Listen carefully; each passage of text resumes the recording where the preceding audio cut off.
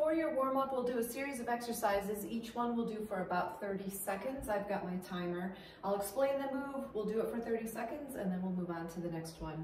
So the first one is hamstring curl, heel to butt, reach and pull with the arms. 30 seconds starts now. Reach and pull, pull shoulder blades together when you pull your elbows back. Looking to limber up the upper back, front of the thighs, get the heart rate up. Just go at your own pace. Whatever makes you feel comfortable. You can go longer in each exercise, shorter, whatever makes sense for you. Four, three, two, and one. Next exercise is a twist. You'll stay upright, elbow and opposite knee come toward each other. They don't have to touch. 30 seconds starts now. Bring your knee high, instead of bending down. So I don't want you to bend forward to try to reach your elbow toward your knee. Stay tall.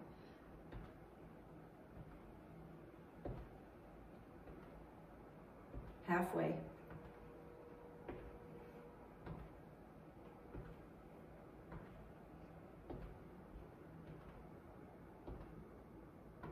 Four, three, two, and one. Next exercise I call hinge and swing. You hinge at the hips, sweep your arms back, and then thrust your hips forward, arms swing overhead. Here's your beep, 30 seconds starts now. Hinge down, push your hips forward to come up. The arms are a bit weightless on the way up because most of the move is initiated from the hip thrust. Don't get your head lower than your hips.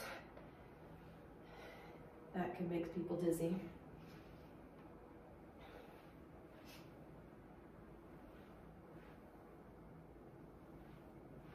Almost done on this one. Do one more. Good, done with that. For the next one, front kicks, bring your arms up in front of your chest and face, elbows bent, stand tall, alternate legs, front kicks, 30 seconds. Timer's on.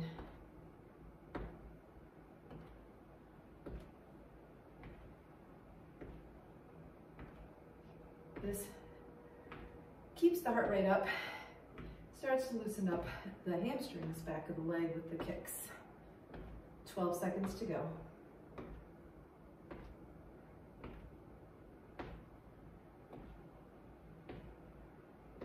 Three, two, and one.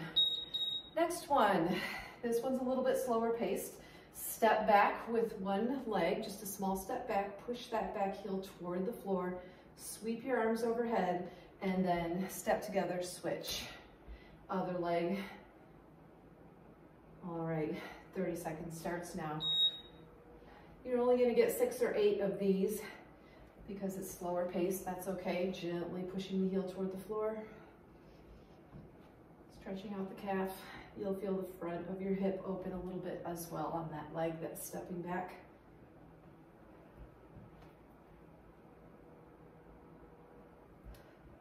Eight seconds left. I'm going to do one more. And there's our beep. Good. The next one is going to be a half squat. You can go into a full squat if you feel warmed up and it feels okay on your hips.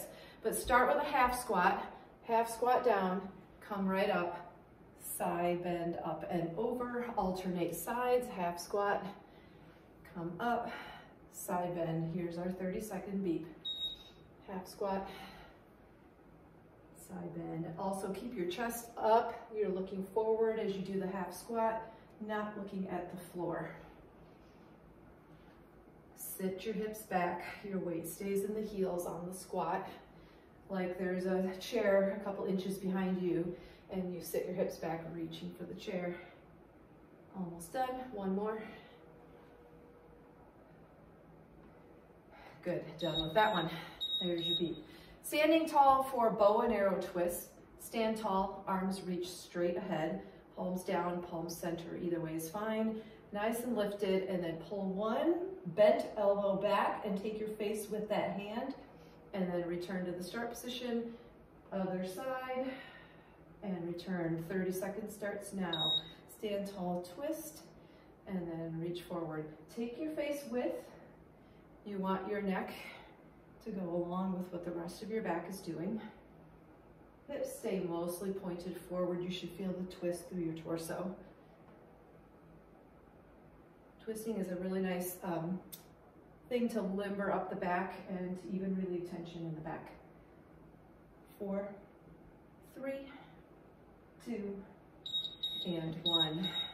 Done with that. For the next one, you need a chair or you can touch the wall or a sturdy piece of furniture. This is just for help with balance. You're going to do hip circles. Lift a knee up, circle it out, set it down.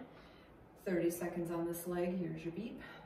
Stand nice and tall, circle up and out, tap the floor with that foot or even set it all the way down in between each one. Holding on just makes it so you don't have to think about balance.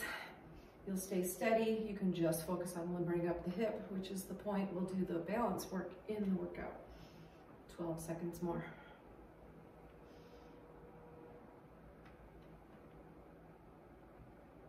Four, three, two, and one. Switch to the other side. Same thing, other leg, 30 seconds. Here's your beep. Lift up, out, set down. Go either slow or at a moderate pace. Not real fast, it ends up being momentum. A little riskier too. When you go fast, harder to control the move. 10 seconds to go on this side. Four, three, two, and one. One more exercise. I always end the warm up with three forward bends. No timer for this one. So I want you to stand tall, sweep your arms overhead, look up, hold here, big stretch, and then swan dive down, slide your hands down your legs into a forward bend. If you need the support, keep your hands on your shins, your feet, or the floor if you can touch. Stay there. Then bend your knees, roll yourself up. Just go as far as you can on that forward bend. Do it again. Sweep the arms overhead. Look up, big stretch. Swan dive down, slide your hands down your legs. Stop when you feel a good stretch. Stay here.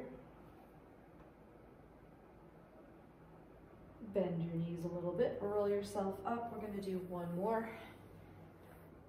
Arms overhead, reach toward the sky, look up. Swan dive down, slide your hands down your legs.